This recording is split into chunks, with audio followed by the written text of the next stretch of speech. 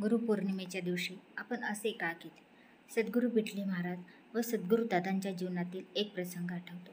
सद्गुरूंनी सांगितले म्हणून दादा व इतर गुरुबंधू एका महाराजांच्या शिष्य असलेल्या एका ठिकाणी गुरुपौर्णिमेच्या उत्सवात जातात. उत्सव झाल्यावर त्या ठिकाणी त्या शिष्याकडून सद्गुरूंविषयी अपशब्द उच्चारतात. दादा त्याच ठिकाणी कडाडतात. सद्गुरूंविषयी बोलण्याची पात्रता तरी आहे का? खबरदार एक वाक्य जरी बोलाल तर. असे म्हणून तडक नाशिकला सद्गुरूंच्या दरबारात येतात. अस्वस्थ असतात. गुरुपौर्णिमेच्या दिवशी आपण असे का केले? सद्गुरूंना सर्व माहीत असते. ते म्हणतात तुम्ही केले ते योग्यच केले.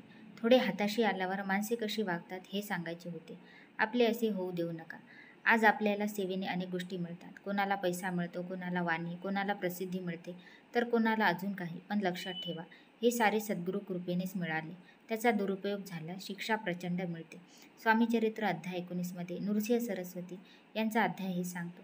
या सिद्धी फसव्या आहेत. त्याचा त्याग केल्याशिवाय ईश्वर प्राप्ती होत नाही.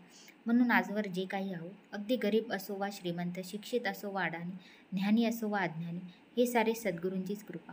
गुरुपौर्णिमा निमित्ताने देहधारी गुरु असो वा निर्गुण सारी शक्ती एकच. आपण फक्त नामधारी ना पैशाचा मोह ना प्रसिद्धी ना कौतुकाचा ना